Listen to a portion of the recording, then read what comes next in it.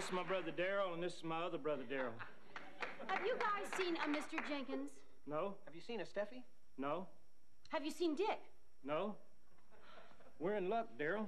The rapid fire questions and general confusion leads me to believe we've stumbled upon a French farce. Please continue. Have you checked the pantry? Zut alors, I haven't. Ah. You see, in classic French farce, people often hide in pantries, unless they're dead, in which case they sit in chairs while others hold one sided conversations with them. the harried innkeeper has arrived. Let's see if we can follow the action. Stephanie's in jail. We have to bail her out. My cupcake's in a cage. Why? I'll tell you on the way. Harried innkeeper beats a hasty retreat, followed closely by the perplexed male ingenue. I just hear Dick? You missed him by a split second. Timing is everything in a farce, hence the failure of Marblehead Manor. Do you know where he went? Yes, with Michael. Do you know where Michael went? Yes, with Dick. Good farce must have comedy. Moliere said it best when he said, go for the yucks. Dick! Michael! Mr. Jenkins! It appears to be intermission.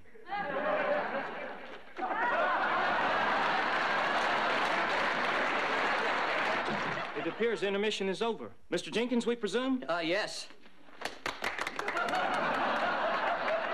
Miss Joanna's looking for you. She's right outside. Oh, no. I guess I'll have to sneak out at night.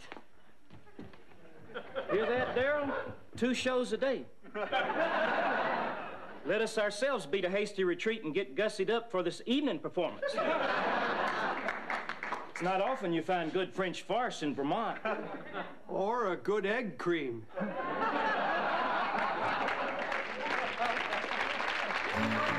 It's not the coach, it's the coachmen. Larry, his brother Darryl, and his other brother Darryl.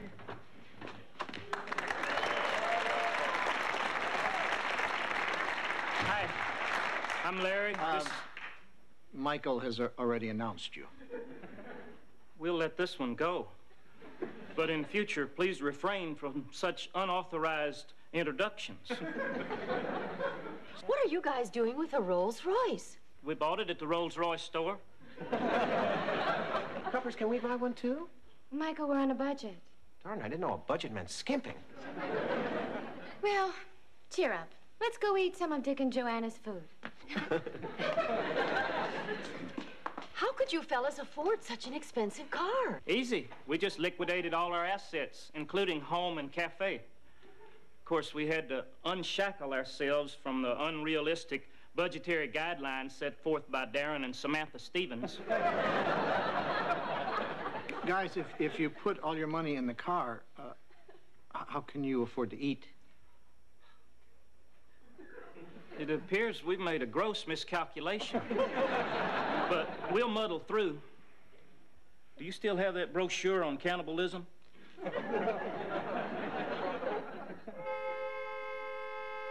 That sounds like our doorbell. Hope it's not another one of those Jehovah's Witnesses. I like your car, guys. Thanks. If we expire from malnutrition, it's yours. All right. Hi, I'm Larry. This. We've halted our introduction due to the sight of a curious new addition to your lobby. Yeah, Joanna's Aunt Louise painted it. The artist has truly captured the luminous quality of your flesh tones. huh? I'll ask. Darryl wonders what you're doing with Angie Dickinson.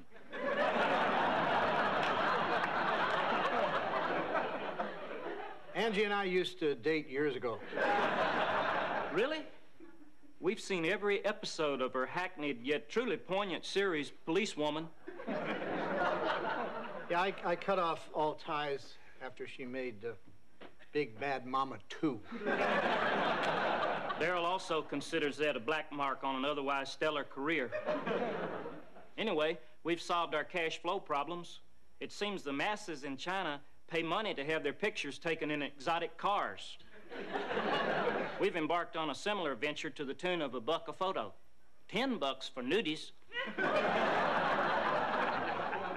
Then I, I, I guess you'll, you'll be moving to China?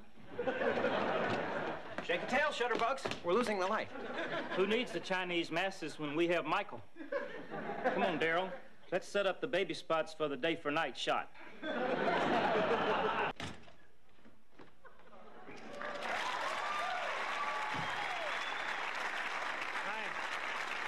I'm Larry. This is my brother Darryl, and this is my other brother Darryl. Hey, my first shift is here. We come bearing gifts, not unlike three wise men on another special night. I gather you bring uh, gold, uh, frankincense, and myrrh? Oh, Dick, you gather incorrectly yet again. Though you did happen to name two of our accountants.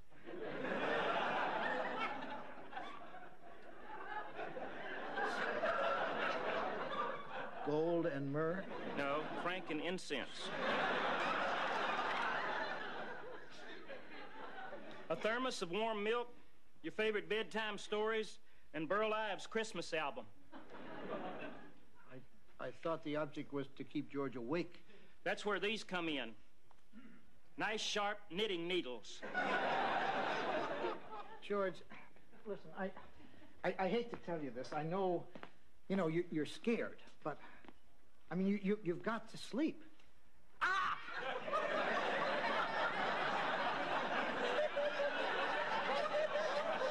You made your point, and now Darryl has made his. Guess I can sleep on my stomach.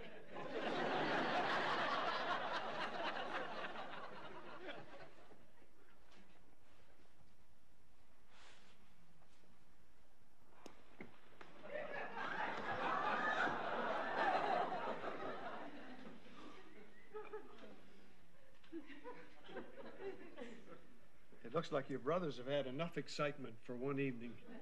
They've never been ones for small talk.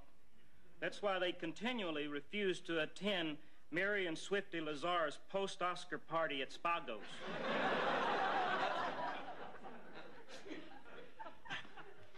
You know, Larry, we've known each other a long time. I'll bet we have a lot in common. Like what? Well, we both wear hats. Hey, you're right. Want to switch? Okay.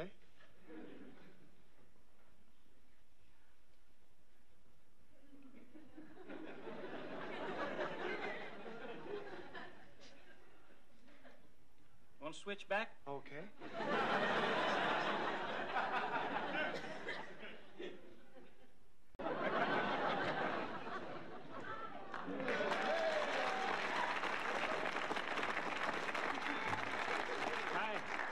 Hi. I'm Larry. This is my brother Darryl, and this is my other brother Darryl.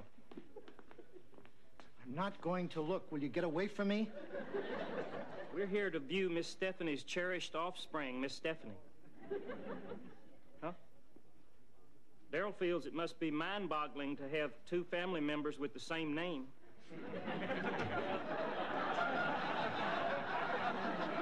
Uh, aren't, aren't you guys kind of in the, in the same boat? I don't think so. Hi, I'm Larry. This is my brother Darryl, and this is my other brother Darryl. Nope, no Stephanie's in our family.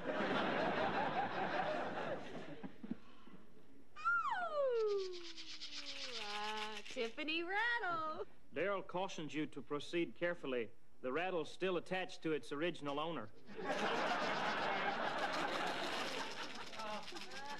Oh, yeah, that must be from uh, Tiffany's new uh, reptile department. Uh, Sir George, would you uh, take this outside to that other gift table? You know, the, the, uh, the one behind the garage. You mean the garbage can? Oh, that gift table. Since Darryl here hunted for the gift, he should have the honor of holding baby Steffi. Uh, well, I don't know if your gift was worth $50. The defanging and Darryl's anti-venom shot cost 80. Oh, okay. You're, you're allowed to lift our lassie, laddie.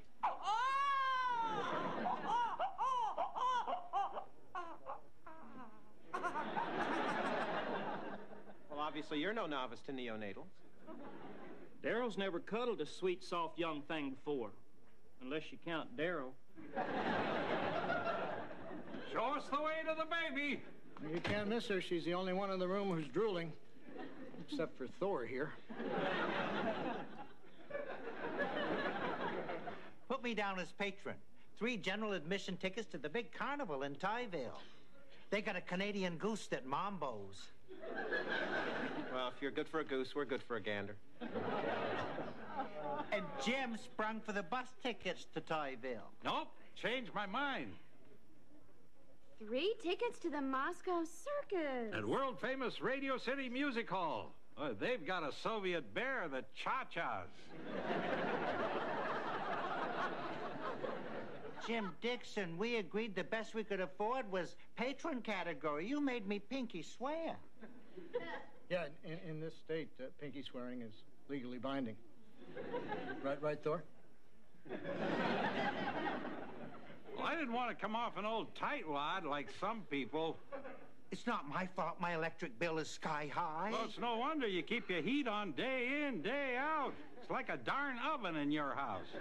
Please stop arguing, or I'll have to deduct seconds from your baby holding time. Oh. Brace yourself for a blast of bawling, Boyski. Oh, she's purring. Dickums, my, uh, my babe in arms goes goo-goo for the guests, but poo-poos her own papa. she even cries when I croon my girl. Well, you know, some babies just don't dig the Motown sound. Somebody say Motown? Bong, bop, bop, bop, bop, bong, bop, bop, bop, I got sunshine on a cloudy day. When it's cold outside, I got the month of May. I guess you'd say what could make me feel this way, My girl.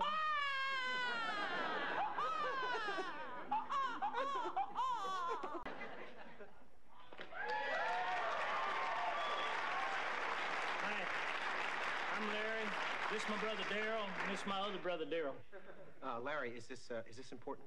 We're here to save Dick's show from dying on the vine. My show is not dying. Of course, you're right. We're wrong. As long as he has a steak knife in his hand, we better humor him. I think you've already got one foot off the ledge. If the boy's alleged to have a hedge that'll give you an edge, I'd like to hear it.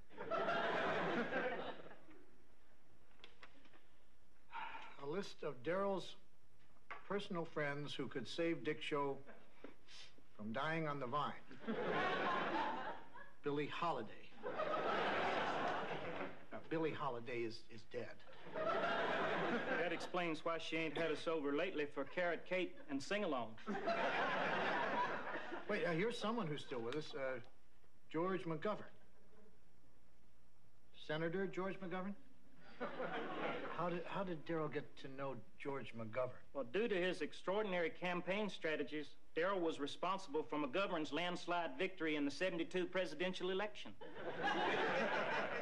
Guys, um, McGovern, um, he sort of lost to Nixon that year. Oh? well, I guess that explains why Darryl hasn't been invited to the White House for carrot cake and sing-alongs.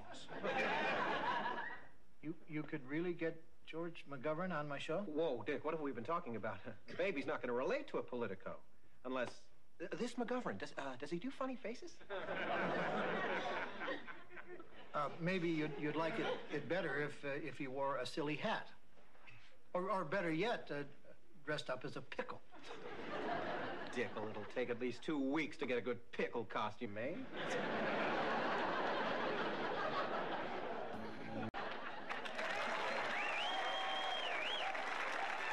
Hi, I'm Larry. This is my brother Darryl, and this is my other brother Darryl. We're here to return George's drill. Oh, thanks. Unfortunately, Daryl's root canal took a tad longer than expected. Well, here's your problem. You had the bit in upside down. Miss Stephanie, thanks again for last night's elegant soiree. My brother so enjoyed tickling the ivories on your new spinet. I'm sure the only thing missing from the evening was us. I'm sorry, Dick. Maybe if you had some hidden talent, it would have warranted an invitation. Well, you know, I, I played the, the bongos a little. Could you fellas make it over again tonight? Right now, my dinner party sounds like death. Okay. Thanks. Okay, Joanna, chicken Kiev for eight. Better make that for nine. Sometimes Darryl likes to bring his imaginary friend Ronald to these affairs. Oh, wonderful. I'm always looking for an excuse to spend an entire day in a hot kitchen. Then this must be your lucky day. Say hey, one and all. Me and mine are off to the mall. C- can't you, you just say hi? Not when this slap happy pappy is charged for charging. the uh, spring infant wear line is in, and I want to scoop up a sack full of those baby Yves Saint Laurent stretchies. Michael, don't you think you're overindulging baby Stephanie just a tiny bit? Thanks for the morning chuckle, Jojo. Oh, by the way, Michael, we're having another party tonight. Dick and Joanna invited themselves over. Our host hasn't even showed up yet, and our hostess is upstairs soaking in a, in a damn bubble bath. Okay, who wants another hit? Pull it to the top, Pop. How I do savor the 66 Chateau Latour. A bit pricey, but ooh, that nutty bouquet. Apparently, that jack in the box has tickled my siblings' collective fancies.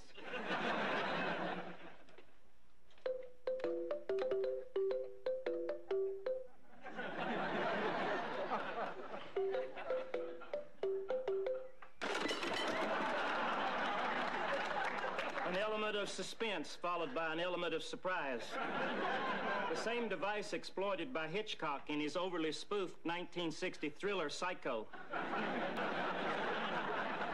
We'll grab a burger at Jack in the Box. Good. The rise in the cat population has something to do with the decline of the mouse population. My brothers scoff at your theory. They blame the decline in the mouse population on their wildly successful line of rodent skin coats and mufflers.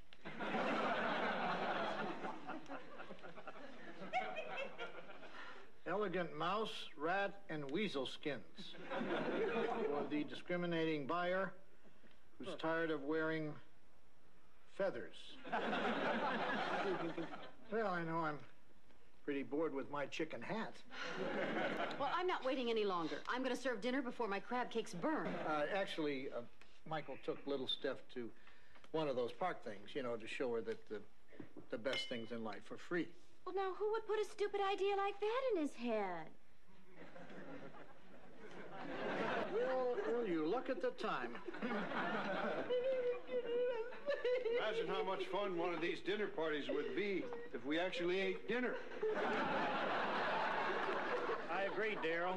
This is eerily reminiscent of our all naked production of Edward Albee's Who's Afraid of Virginia Woolf.